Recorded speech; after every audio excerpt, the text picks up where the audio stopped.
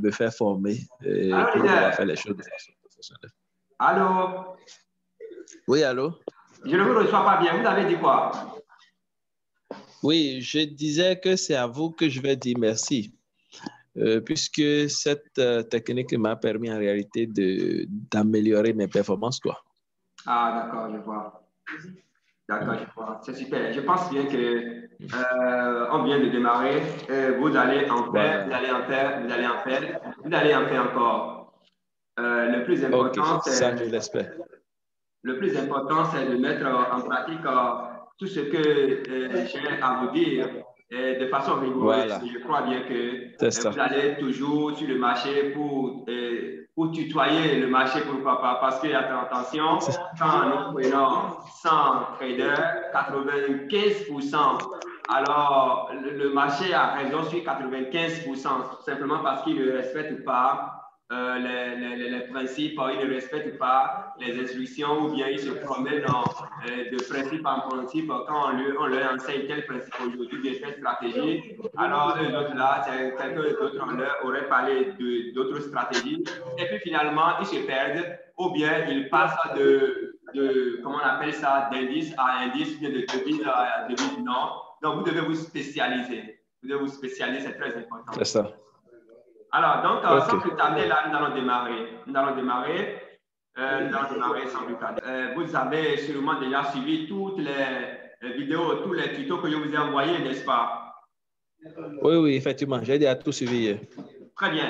Avant d'aller loin, euh, est-ce que vous avez des préoccupations? Est-ce que vous avez des préoccupations par rapport au tuto que vous avez suivi? Euh, oui, oui, j'ai, j'ai quelques préoccupations. On y va. Voilà, ce que je, ce que je voulais demander, c'est par rapport au, au support. Lorsque je suis dans, dans, dans Boom. Très bien. Euh, donc, euh, hier, je me rappelle avoir euh, écouté dans un tuto là que pour le faire, pour réussir, il faut, il faut paramétrer ça dans H4 et qu'il faut venir confirmer ça dans euh, M, je crois, M30. Oui. Bon, je ne sais pas si c'est sur le graphique même ou bien si c'est sur le RSI. Parce que ce que je voyais hier, j'ai comme l'impression que c'est sur le graphique, alors que ce que moi je fais jusque-là, c'est sur le RSI que je le fais. Qu'en est-il concrètement? Très bien.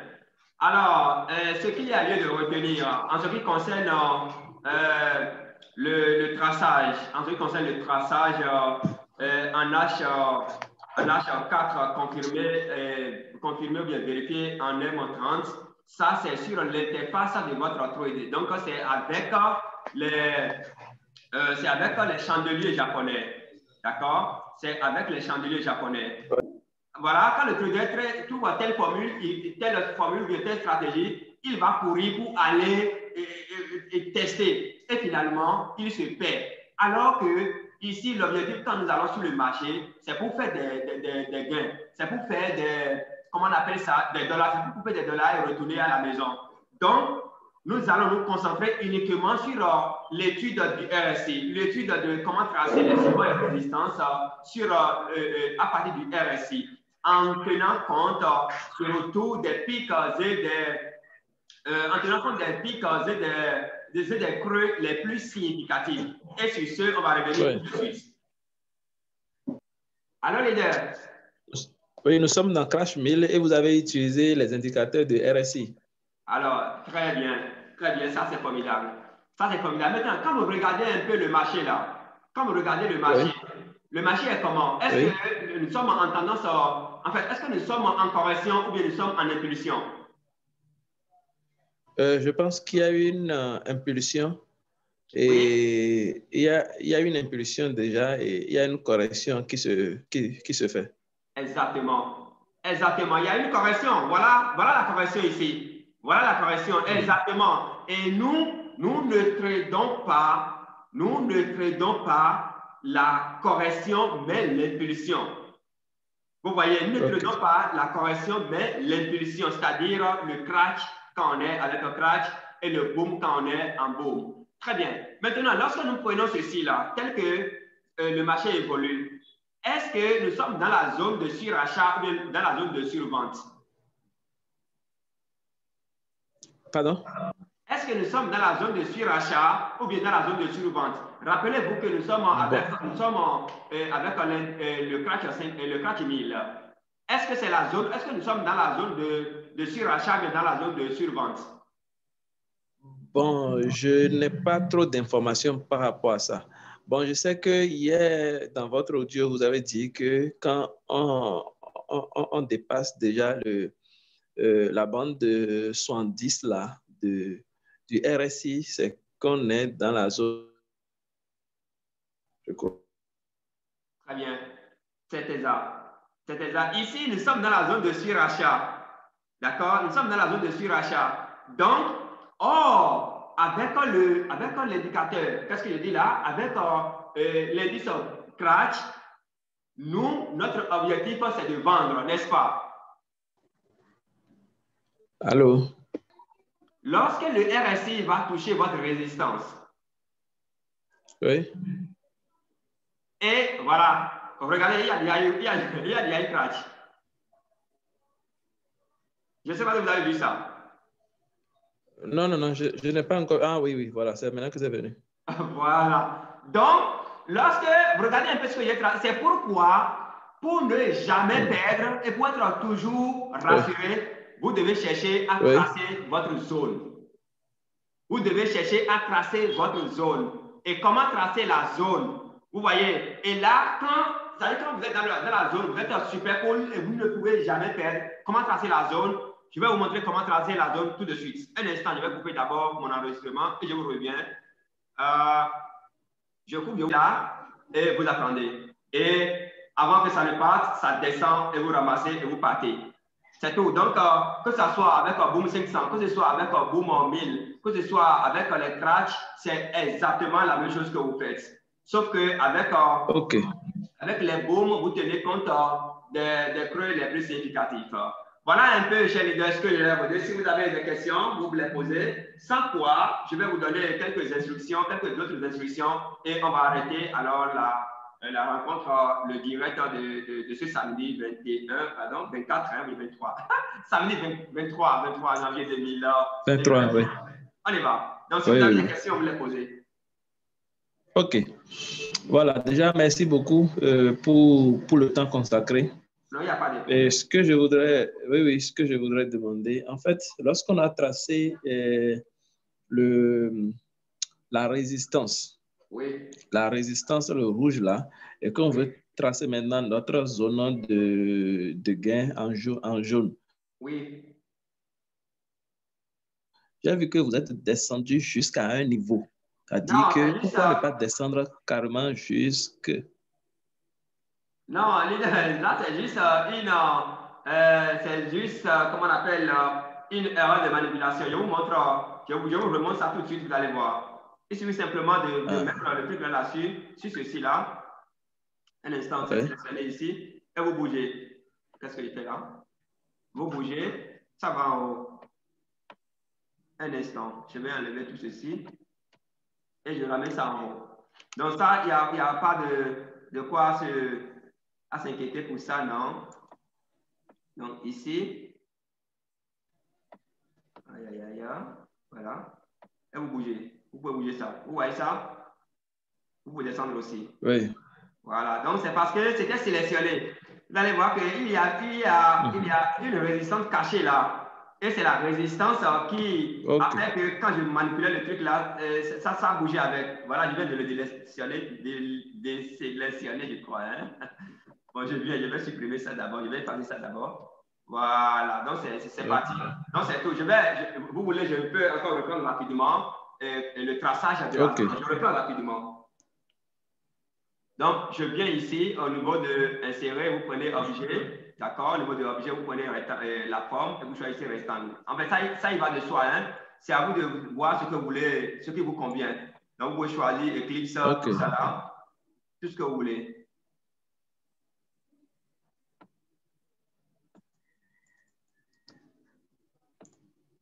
Un instant.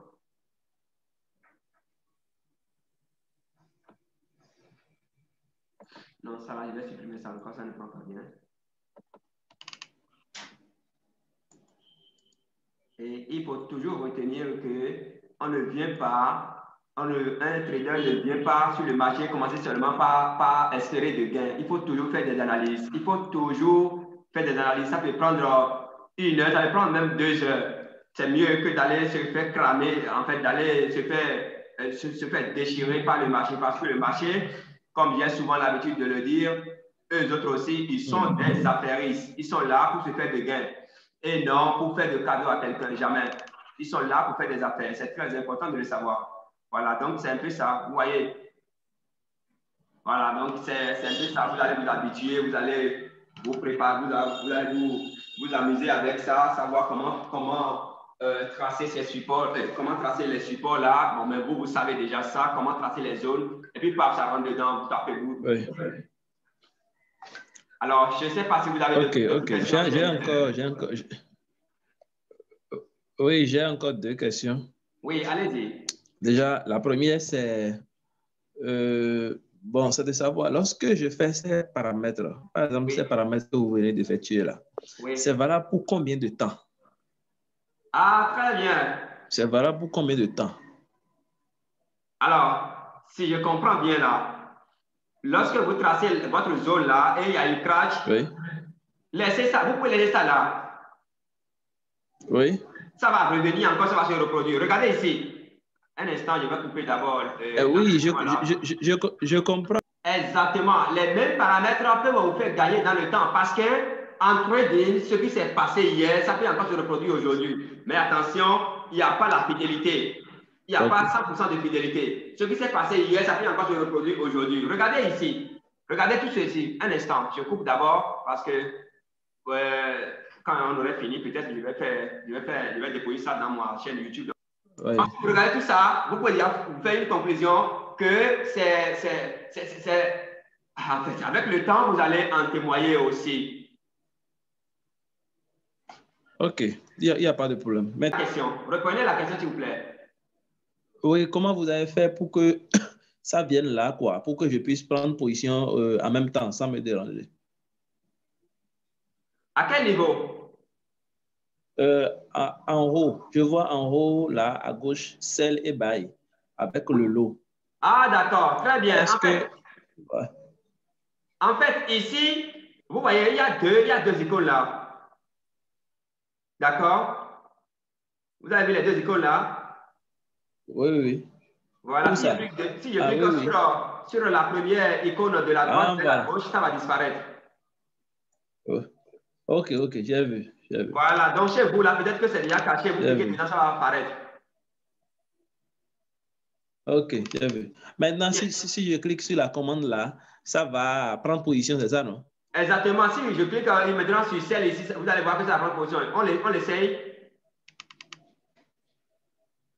Euh, non, ok, c'est bon, je peux, je, peux, je peux faire ça. Très bien. Maintenant, la, la dernière icône, là, ce qui est à côté là, quand vous cliquez dedans, c'est pour aller fermer le marché. C'est pour, pour clôturer. Donc, je clique Oui, dedans, là, vous allez voir que ça va apparaître. Regardez ici. Vous avez vendre, vous avez fermer, vous avez acheter. Bien, je vais prendre position et puis on va, on va, on va l'expérimenter, vous allez voir. Donc, je viens ici, euh, je prends la position. Voilà, je fais comme ça. ça. Oui, Surtout que c'est déjà. euh, voilà, qu'est-ce que ça me met là? Oui, voilà. Oui, j'accepte. C'est un marché risqué, donc chaque fois ça me donne les, les informations. Donc j'accepte. Je viens ici, je vais prendre ma position, je non. D'accord? Je scelle. Voilà, vous avez entendu le son.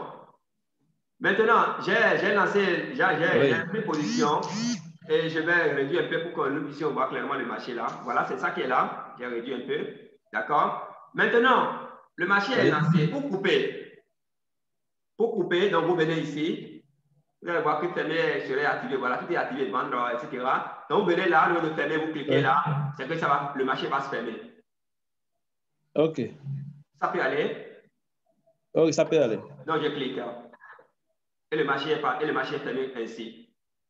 Voir que ça va disparaître le, le marché là. Mais je vais encore prendre position. Ok, Je vais encore prendre position pour que. Un instant.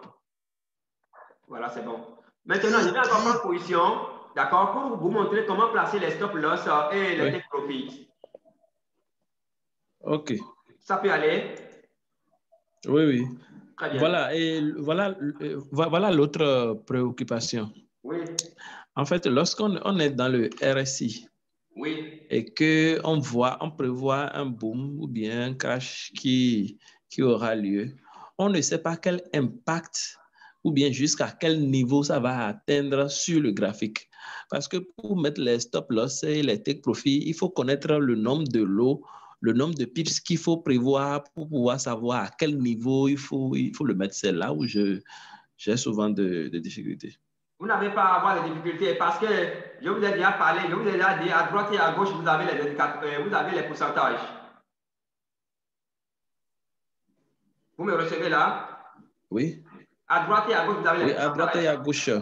Oui, à gauche, à gauche vous avez le pourcentage même du RSI. Et à droite, vous avez le pourcentage de, votre, de votre soit résistance ou de support. Oui, c'est ça. Alors, vous tenez compte de ça pour prendre votre position, tout simplement, ce n'est pas compliqué. Beaucoup de personnes se trompent même en plaçant leur stop loss, en plaçant leur take profit, et quand l'impulsion se produit, ça les déchire. Simplement parce qu'ils ne respectent pas le principe que je viens de vous enseigner tout à l'heure. C'est-à-dire, en boom, qu'est-ce qu'il faut faire? En crash, qu'est-ce qu'il faut faire? Il faut vendre quand on est en, en, en crash et il faut, il, faut, il faut acheter quand on est en boom. Et lorsque vous respectez ce principe-là et vous placez votre stop loss, ça, ça marche. Vous placez votre take profit, ça marche. Oui. Mais si vous tradez dans le sens du marché, vous tradez, si vous tradez la correction, ça vous déchire, ça ne marche pas. C'est ça, c'est ça. Très bien. Autre préoccupation chez leader. Je vois. Ok, je pense que, je pense que j'ai compris. Ok, je sais que vous savez aussi comment placer les, les stop loss et puis les take profits. Euh, oui, oui, oui, je sais comment le faire. Merci beaucoup. Hmm. Ok, merci à vous. Non, c'est moi. Et on garde le contact. On garde le contact. Si vous avez des préoccupations, n'hésitez pas à me contacter. Je vous réponds immédiatement parce que vous allez payer le prix. Il n'y a pas de problème. Il n'y a pas de problème. Merci beaucoup. On va le contacter et puis à très bientôt. D'accord, à très bientôt. À bientôt.